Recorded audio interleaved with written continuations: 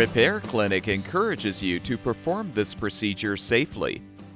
In this video, we will show one or more of these icons to alert you when to use caution.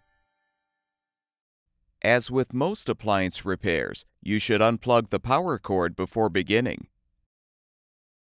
To replace the ice maker in your refrigerator freezer, open the freezer door, lift out the ice bucket, and remove the shelf.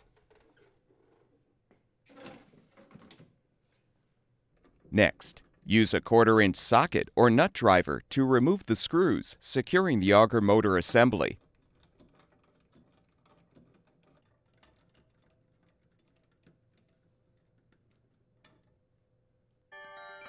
Lift the motor assembly off of the mounting brackets. Disconnect the wire connector and move the assembly out of the way. Release the tabs to disconnect the ice maker wire harness. Next, loosen the screws securing the ice maker assembly.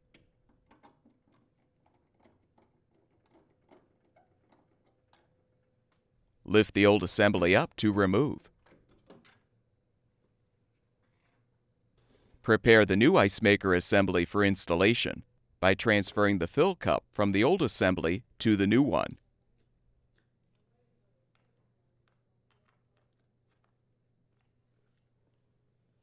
Align the new assembly on the mounting screws.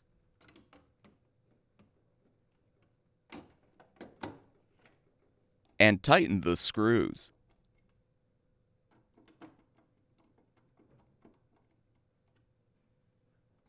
Connect the wire harness.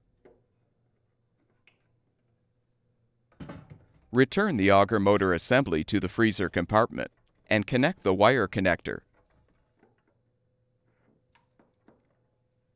Reposition the assembly on the mounting brackets and replace the screws to secure.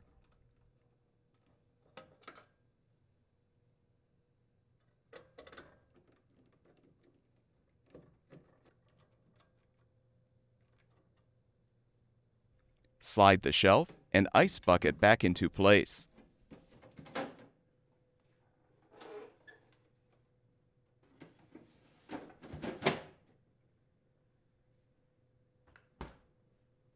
With the repair completed, plug the power cord back in, and your new ice maker should be ready for use.